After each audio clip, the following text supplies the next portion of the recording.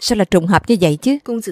Công tử đảng chưa uống rượu gạo của chúng ta Đã gặp phải ông sát nhân。Chuyện này không thể trách công tử của chúng ta được。Là do công tử đảng cướp rượu gạo của công tử nhà chúng ta uống。Công tử đảng đang trong tình trạng nguy hiểm。Ngộ lỡ công tử đảng không qua được cửa này。Thì sao Dương Hậu có thể tha cho thông nhi của chúng ta chứ Chúng ta có thể giải thích với Đại Dương. Vị trí của công tử đảng trong lòng Đại Dương. Sao Thông Nhi có thể so bì được? Thêm vào đó Dương Hậu còn kích động Xúi dục Đại Dương. Chúng ta có trăm cái miệng cũng không giải thích được. Mẫu thân Ông sát nhân đó Là do có người cố ý đặt ở đó. Con có chứng cứ gì không? Là do con tận mắt nhìn thấy. Người đó là ai? Là một nha đầu bên cạnh Dương Hậu. Tên là gì nhỉ? Tên là Tên là Trân Châu hay là tên Sang Hồ nhỉ? Đúng rồi tên là Sang Hồ. Còn có một nội thị mà con không biết. Thông Nhi Con nhìn rõ chứ Chuyện này nhất định không thể nói lung tung được đâu. Chính xác. Sang Hồ đưa cho người đó một chút tiền. Tổ ông đó vốn được đặt trong bụi trúc. Bị nội thị đó đặt lên trên viên đá. Lúc đó con lại không biết. Đó là ông sát nhân. Lẽ nào có người mua chuộc người bên cạnh Dương Hậu Muốn hại chết công tử đảng. Không giống lắm. Mẫu thân, Người đừng quên. Hôm nay công tử đảng bị ông đốt là chuyện ngoài ý muốn.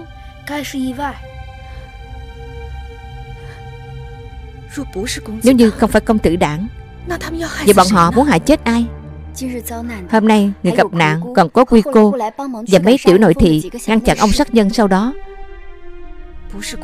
Không phải quy cô Càng sẽ không phải. Và tiểu nội thị vô tình vào giúp đỡ Bọn họ không đáng để người khác phải hãm hại Bỏ ra một khoản tiền lớn như vậy. Thông Nhi Con không phải nói với ta. Quy cô là việc cứu công tử tắc Mới bị ông sát nhân đốt bị thương sao? Dạ. Nhưng Quy cô và công tử tắc Sao đột nhiên lại đến nơi đó? Nghe nói Dương Hậu hẹn bác tử. Dẫn bọn họ đi miếu thiếu tư mệnh Khấn thần cầu phúc Là chủ ý của Dương Hậu. Là Dương Hậu dẫn bọn họ đến đó.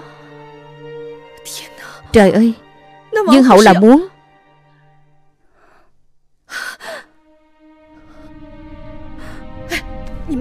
Các người đều giữ kín miệng cho ta Nghe rõ chưa? Dạ Mẫu thân Người không phải muốn tìm đại dương giải thích hay sao? Chúng ta có chứng cứ Câm miệng.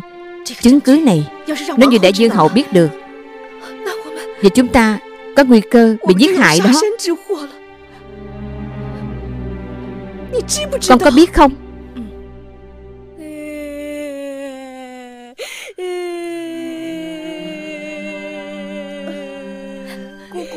Cô cô. Cô cô. Cô cô. Cô cô à. Tắc Nhi. Tắc Nhi. Tắc Nhi ở đây. Cô cô. Tắc Nhi ở đây. Tất nhiên, tất nhiên không sao. Nó chỉ bị đốt một chút ở bàn tay thôi. Nữ ý chí đã bôi thuốc thảo dược cho nó rồi. Cô cô Người yên tâm. Bà bà Người có đau không ạ? À? Bà bà không đau. Con xem Bà bà vẫn có thể. Cô cô đừng cử động. Cô cô Người đừng cử động Đừng cử động. Con người già đi Là sẽ dễ bị đau chỗ này chỗ kia. Không sao. Nghỉ ngơi một chút là sẽ khỏe thôi. Nữ ý chí và thái y lệnh đều đã qua rồi. Đại dương cũng đã ban thưởng. Thái y nói cô cô không sao. Cô cô đừng lo lắng. Trị khỏi hay trị không khỏi Cũng như nhau thôi. Đừng làm phiền đến người khác nữa. Bà bà Tất nhiên nhất định sẽ chữa khỏi cho bà bà mà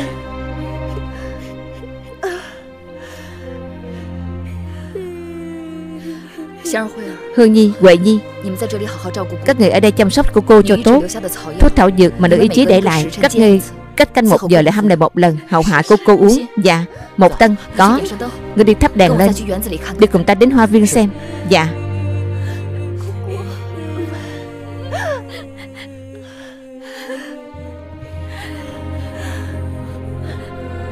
Bà bà Cô cô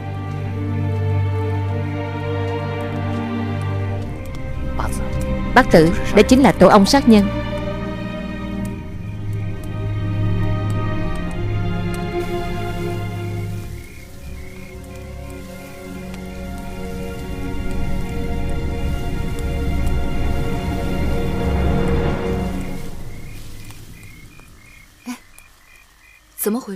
Sao lại thế này Chỗ này đều đã bị đốt cháy. Nghe nói sợ ông đốt hại thêm người khác. Chập tối đại dương đã sai nội thị qua đây. Dùng lửa đốt tổ ong này đi. Đây đều là những con ong đã bị đốt chết rồi. Bây giờ có thể nhìn ra gì chứ?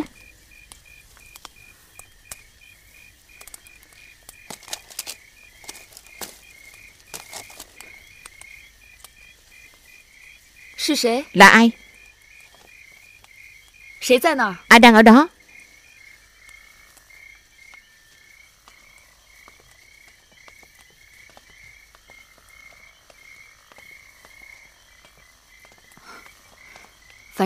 Phàn trưởng sử. Bác tử. Muộn thế này rồi Sao Phàn trưởng sử vẫn chưa đi nghỉ? Bác tử không phải cũng chưa đi nghỉ sao? Hôm nay những người có thể ngủ ngon giấc trong cung. Chỉ sợ không nhiều. Không phải sao? May mà trời xanh có mắt.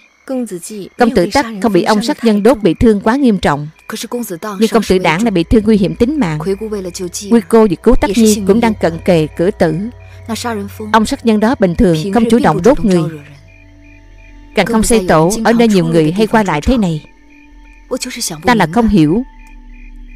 Sao chúng lại đột nhiên xuất hiện trong hoa viên?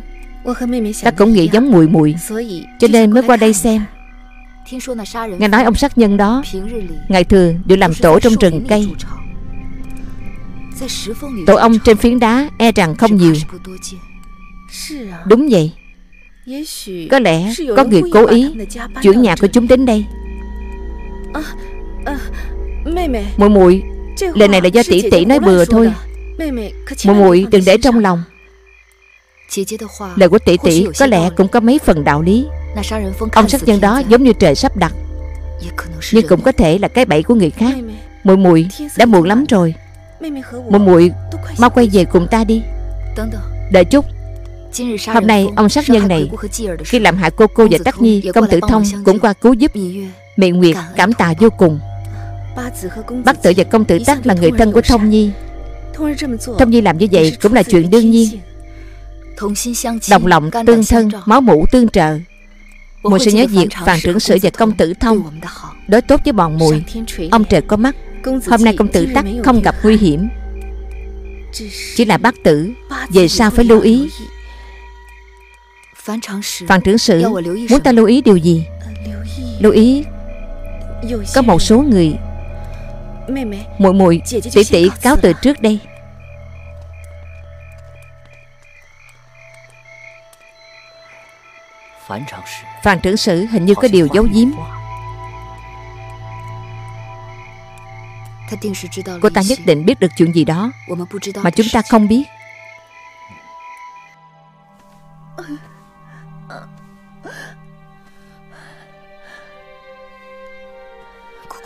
Cô cô. Cô cô. Cô cô. Nguyệt Nhi đây. Nguyệt Nhi nhất định sẽ nghĩ cách cứu cô cô. Nguyệt Nhi từ nhỏ không có mẫu thân. Người là người thân duy nhất của con. Không có người Thì không có Nguyệt Nhi. Cô cô. Con nhất định sẽ nghĩ cách cứu người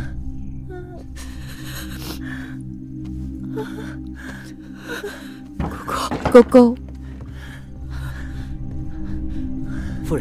Phu nhân Đây là y phục của công tử Tắc。Sao buổi trưa có người nhặt được Giờ mới đem qua Ta biết rồi。May mà cô cô cứu được công tử。Nếu không chỉ sợ người bị thương nặng nhất Không phải là công tử đảng. Mà là công tử Tắc chúng ta đấy.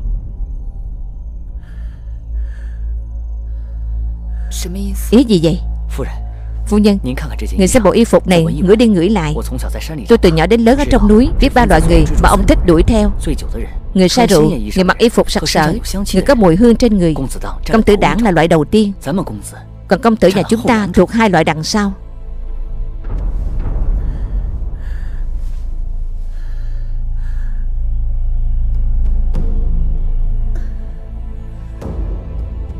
Các các người có ngửi thấy không? Từ khi công tử vào phòng ta liền bị ngạt mũi. Mùi hương thơm này làm người ta không ngừng chảy nước mũi. Mùi ma đuổi theo Tắc Nhi đi.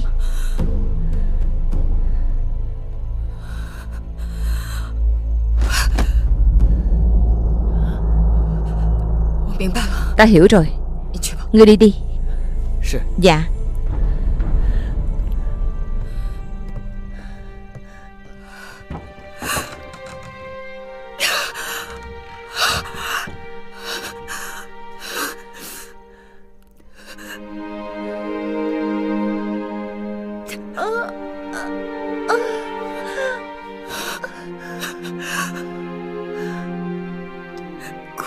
Cô cô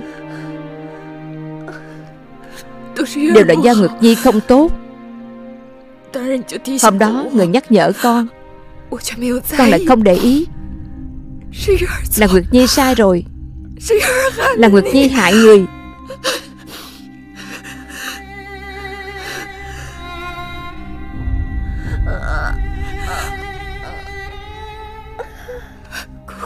Cô cô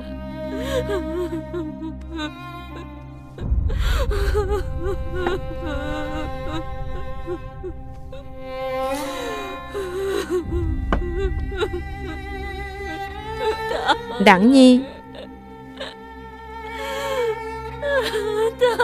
Đặng Nhi.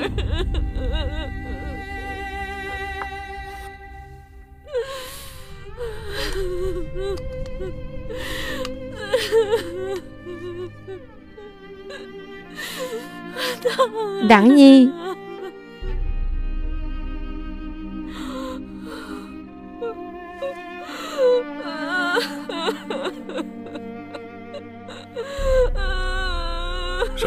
Sang hồ Dạ.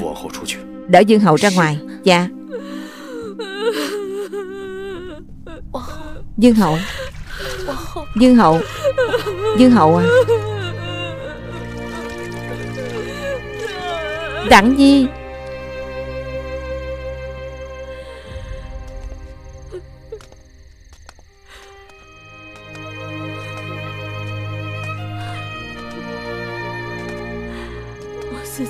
Ta tự làm tự chịu. Tự chuốc quả vào thân.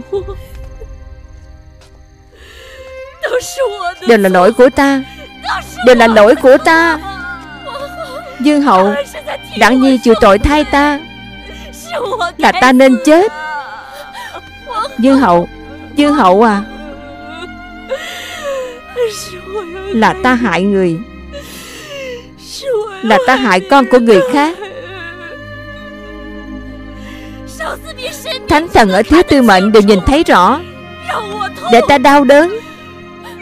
Để ta bị ngàn đau đâm. Để ta chết đi. Để ta chết đi. Dương hậu Dương hậu. Thuốc này không biết có tác dụng không? Quý cô xem chừng càng lúc càng không ổn rồi. Đại dương đã treo thưởng dạng lượng Sao vẫn chưa có ai hiến cách cứu người chứ? Trên thế gian này thứ độc nhất là bò cạp, rết, trắng, nhện, cốc. Ông sát nhân sao lại nguy hiểm như vậy? Các người trước đây chưa nhìn thấy chúng. Trên núi ta ở Ngay đến ông sát nhân Ai cũng trốn thật xa.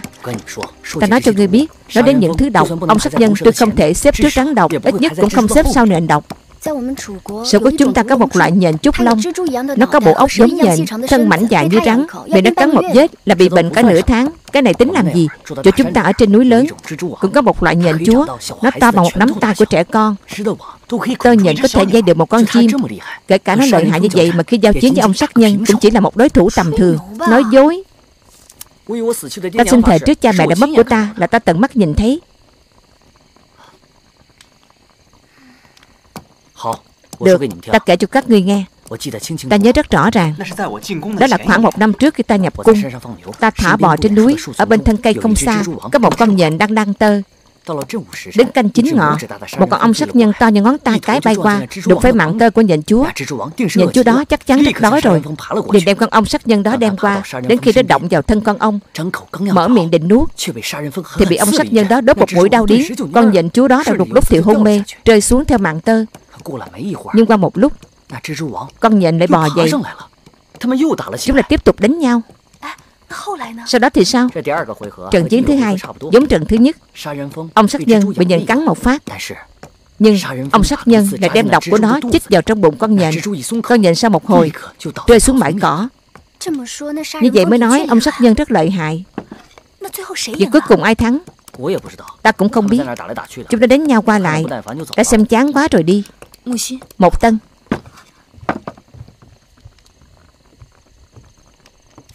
Phu nhân. Lần ngươi vừa nói có thật không? Nếu có một chữ không thật Một tân cam nguyện chịu phạt. Nếu như ngươi biết con nhện rơi vào bãi cỏ Đó là cỏ gì? Hoa cỏ trong núi không có gì mà ta không biết Mau nói cho ta biết. Cỏ đó gọi là thất diệp nhất chiêu hoa Ở chỗ chúng ta Có người gọi là đăng đài thất. Thất diệp nhất chiêu hoa Nghe rất quen Cỏ đó ở sở quốc được gọi là kim tuyến trọng lâu Gốc của nó dùng làm nguyên liệu làm thuốc Chúng tôi gọi nó là tảo hưu Thuốc tính mát, thanh nhiệt giải độc, chữa đau đớn Ở sở quốc có người dùng nó để trị vết thương Vậy có lẽ nó có thể trị vết côn trùng cắn Có khả năng đó Nhưng trong tận cung không có thứ này。Để nô tỳ đi tìm xem Nhưng tính mạng của công tử đảng và quy cô Cũng chỉ trong vài canh giờ này thôi Ta đi gặp đại dương xin lệnh xuất cung. Cô cô đem người trong đêm lập tức xuất cung. Được, đừng núi ở đây xa gần tôi đều quen thuộc. Để tôi đi cùng cô cô. Đi nhanh về nhanh.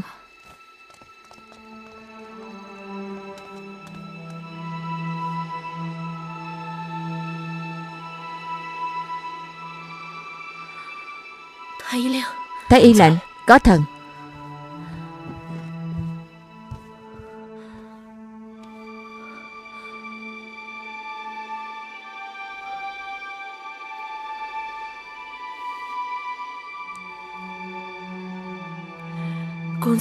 Công tử sao rồi?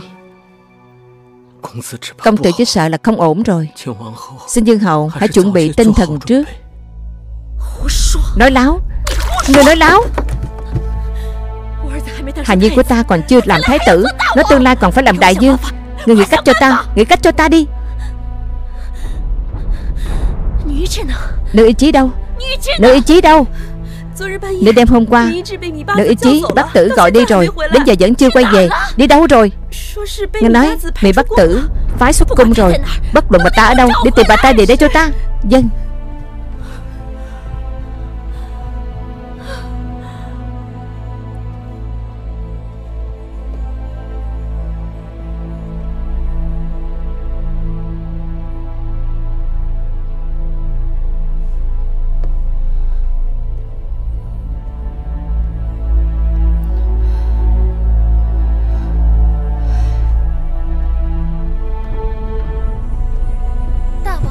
Đại Dương Đại Dương Đại Dương à Xin Đại Dương làm chủ cho thần thiếp. Đảng Nhi sao vậy? Thái y lệnh nói, Đảng Nhi không ổn rồi. Nếu Đảng Nhi mất đi, Thần thiếp chỉ có thể sống cô độc qua ngày. Đặng Nhi là hài nhi của quả nhân. Huyết thống danh thị của quả nhân mạnh mẽ hơn người Tuyệt đối sẽ không dễ dàng buông xuôi. Đừng nóng lòng quá. Lúc này không nên quá rối loạn.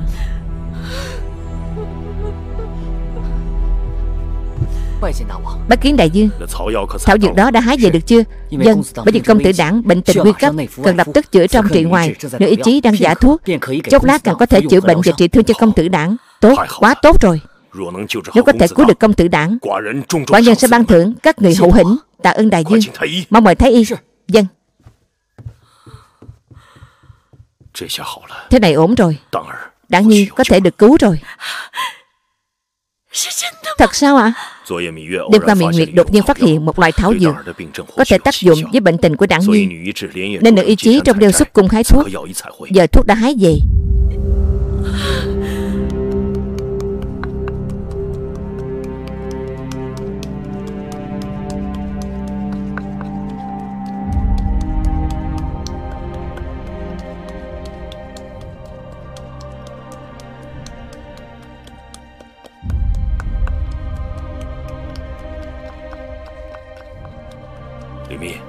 Lý mật. Đại dương Ngươi xem lần này có thể đảm bảo được mấy phần. Theo lý nói Thảo dược tiến cung Cần có người thử thuốc Nhưng tính mạng công tử vô cùng nguy hiểm. Chúng ta chỉ có thể mạo hiểm cứu người. Di thần đã sai người ép nước. Từ thất hiệp một cành rễ hoa một bát Mỗi canh giờ cho công tử uống một bát. Rễ tươi giải nát đắp lên vết thương. Nếu đến chập tối mà bệnh tình công tử không có gì thất thường Thì là cứu được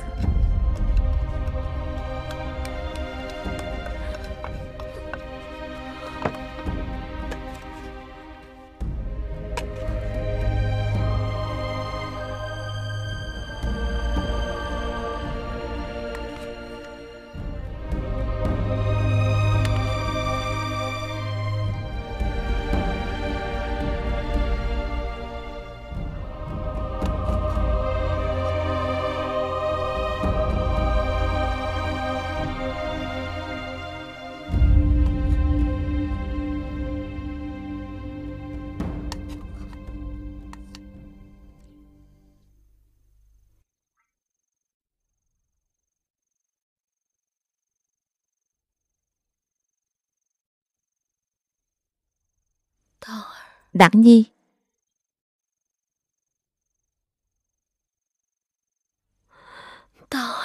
Đặng Nhi Có nghe thấy mẫu hậu đang nói chuyện với con không?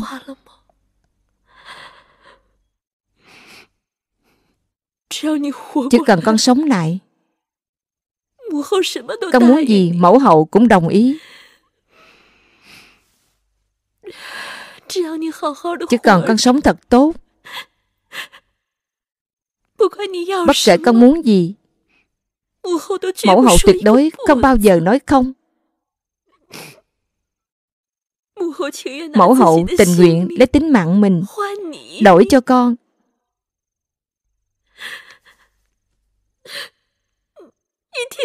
Con nghe thấy mẫu hậu nói không vậy?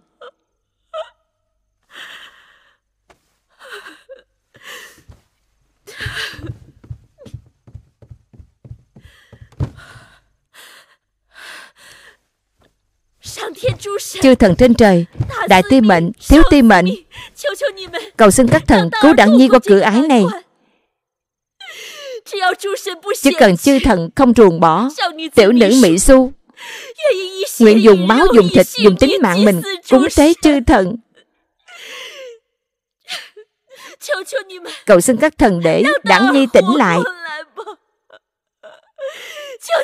Cầu xin các thần để đặng nhi tỉnh lại Cầu xin các thần để đặng nhi tỉnh lại đi.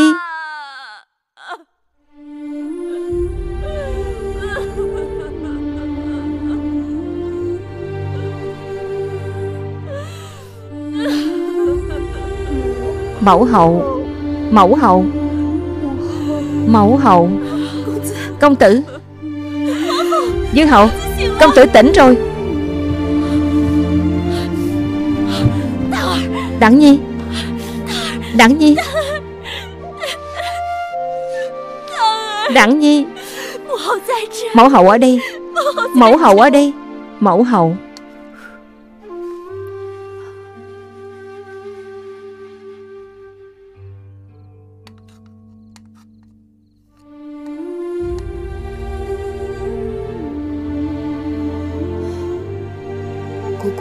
Cô cô Người phải ăn nhiều một chút. Ăn no mới có sức lực Để nhanh lành vết thương. Cháo này thật thơm. Là bác tử tự ta dùng gạo và thịt băm Với trứng gà nấu thành. Bà bà ăn đi, Chắc Nhi xem bà bà ăn nha. Bà bà ăn không nổi. Ăn thịt, bổ thịt. Không ăn thịt sẽ gầy lắm. Bà bà xem, Trên người Tắc Nhi rất nhiều thịt. Bà bà đã gầy quá. Được. Bà bà ăn một miếng.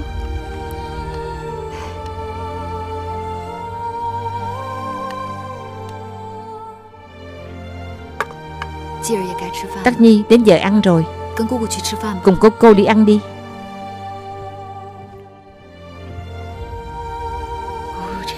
Cô cô lần này làm khổ Nguyệt Nhi rồi. Cô cô trước giờ Luôn đối xử tốt Nguyệt Nhi như ruột thịt nếu là vì Trắc Nhi bị thương Lại nói với con những lời cách sáo như vậy. Sinh mệnh con người Đều đã được định sẵn rồi. Cô cô vốn nghĩ không sống được lâu thế này. Không hiểu vì sao ông trời lại không đưa ta đi.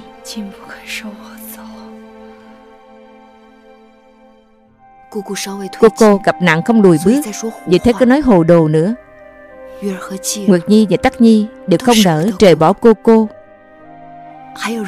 Còn có Nhung Nhi, Còn có Tiểu Nhiễm. Cô cô sao nỡ đi được chứ? Trước đây, Cô cô nghĩ các con trưởng thành rồi. Tắc Nhi lại có tiền đồ. Cô cô có thể nhắm mắt rồi. Nhưng trước mắt đột nhiên Lại xảy ra chuyện này. Trong lòng cô cô là có một lỗ hổng. Đều tại Nguyệt Nhi hồ đồ, Không trách con được. Là cô ta Có giả tâm hại con và Tắc Nhi. Bèn ngày ngày ở đây viết văn. Con có tránh Cũng không tránh nổi.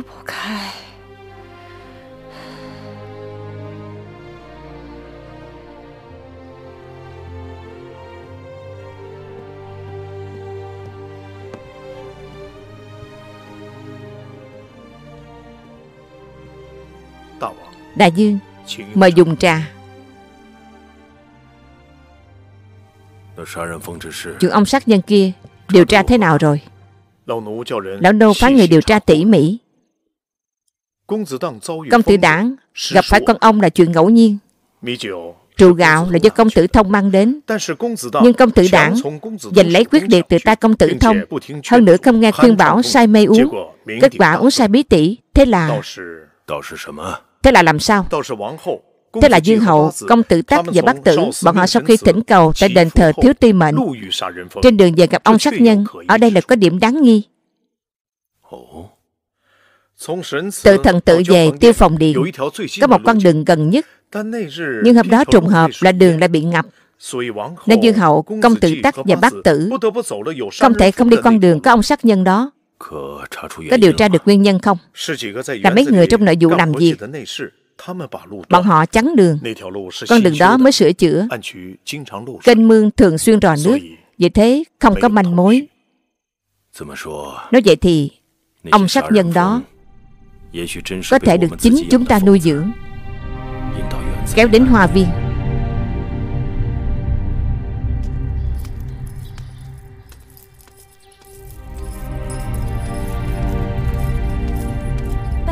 Bác kiến bác tử. Ta muốn gặp Dương Hậu. Dương Hậu đang nghỉ ngơi. Ta muốn gặp người. Dương Hậu mấy ngày nay không muốn gặp ai. Lao lực quá độ. Không thể gặp người. Gặp hay không? Không phải do ngươi. Ngươi chỉ cần đi thông báo. Bác tử Đô tỳ đắc tội rồi. Người không thể vào. Tránh ra. Người không thể vào. Không thể. Vào Không thể.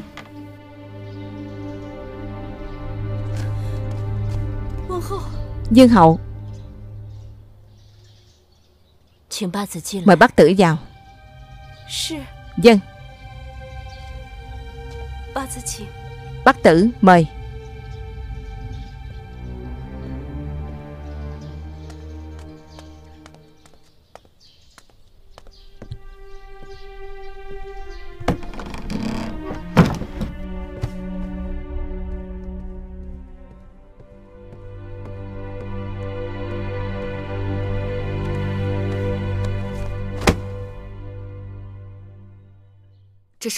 Đây chính là việc tốt mà Dương Hậu làm được.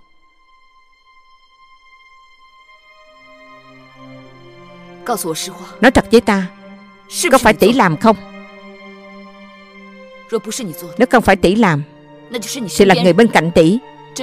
Trân Châu Sang Hồ hay là ai? Là ta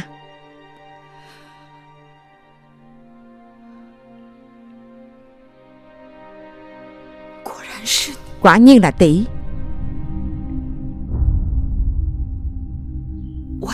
Tỷ tỷ của ta. Mẫu hậu của Tắc Nhi.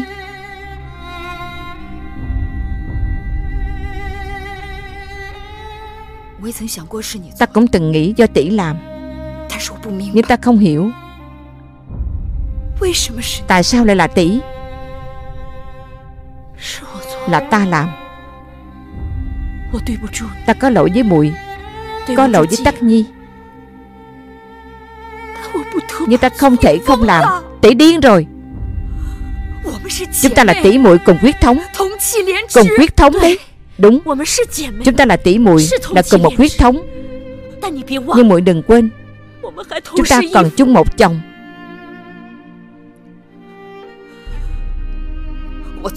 Ta chưa từng tranh sủng với tỷ còn cần tranh sao? Ngoài muội Trong mắt đại dương còn có ai không?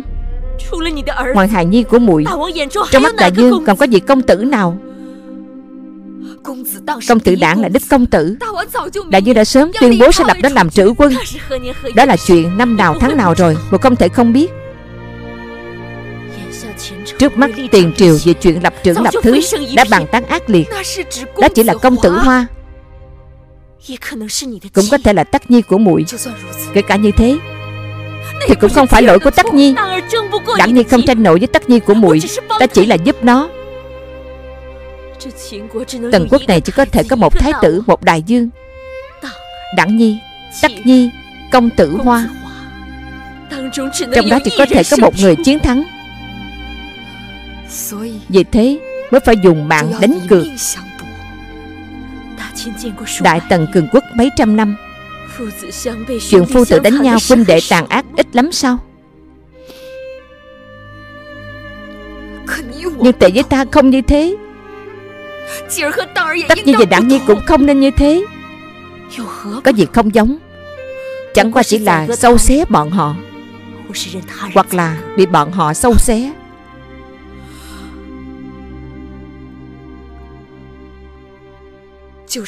Chính là vì ngôi vị trữ quân. Đã chia cắt tình cảm nhiều năm của chúng ta. Trong cung Làm gì có thứ tình cảm nào đáng tin? Tự gả đến Tần Quốc Ta thân là Dương Hậu Có ngày nào là không tranh giành cấu xé lẫn nhau với kẻ khác chứ? Có ngày nào là không tranh giành đấu đá? Đại Dương là phu quân ta Một tiếng cấm cung Ta liền không nhìn thấy mặt trời. Bên cạnh ta chỉ có đảng nhi Ta không thể dựa vào mẫu quốc Không thể dựa vào phu quân. Hy vọng duy nhất của ta chính là đảng nhi. Nhưng cách nhi của muội Đã khiến cho hy vọng của ta tan biến không còn gì.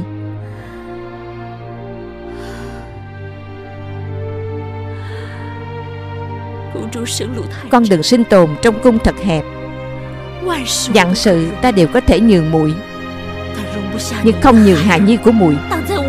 Vượt lên hạ nhi của ta được.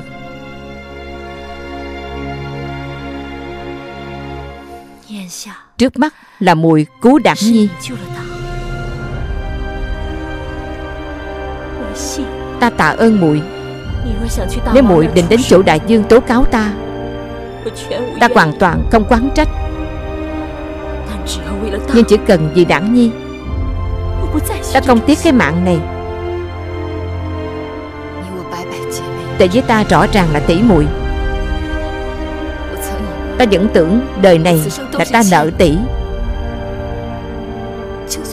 Cứ cho là Mỹ Nguyệt tranh sủng với bất cứ ai. Đều chưa từng nghĩ tranh sủng với tỷ. Tất nhiên của ta Với ngôi vị trữ quân Đã càng không quan tâm Hai chữ tranh sủng Là vũ khí hại người sắc bén. Tranh sủng với người ngoài Nhất dinh câu dinh Tự tranh với bản thân mình chỉ làm tổn thương mình. Gian nan ở hậu cung cần xem như mưa dầm thấm đất.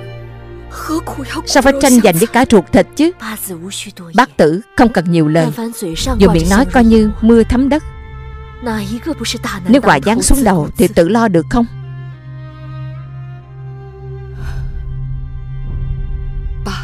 Thôi đi. Muội đến tố cáo ta với đại dương đi. Ta tự làm tự chịu. Tội nên chịu phạt. Nhưng việc này không liên quan đến đảng nhi.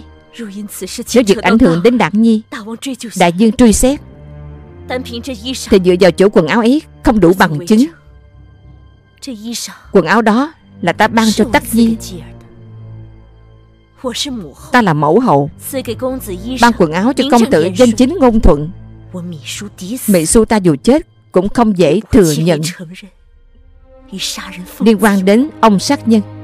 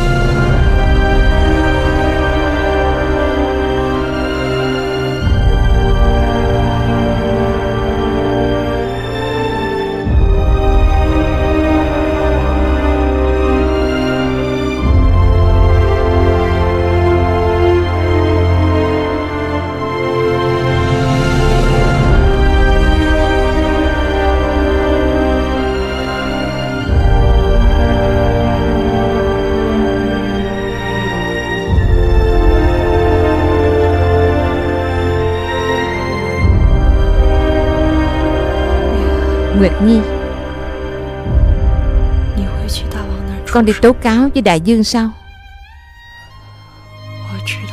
Ta biết Nguyệt Nhi không nỡ làm thế. Con đã không có tỷ tỷ rồi. Không muốn khiến Đảng Nhi mất mẹ. Con cứu công tử đảng. Còn muốn cứu Dương Hậu. Con không cứu ai, Cũng không muốn cứu ai. Con thương hại cô ta. Không muốn giống cô ta. Nguyệt Nhi, Ta lo lắng. Cô cô lo chuyện gì? Ân tình của con với Mỹ Du Cô ta không thể báo đáp.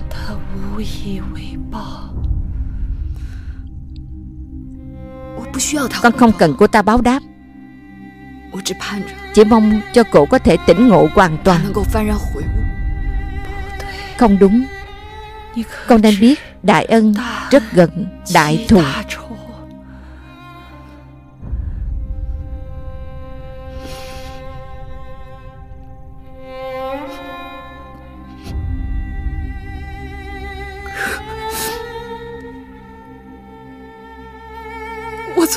Con không làm được. Con thật sự không làm được Nguyệt Nhi.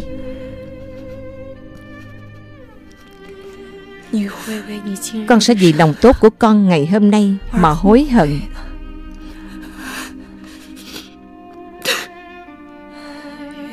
Nguyệt Nhi.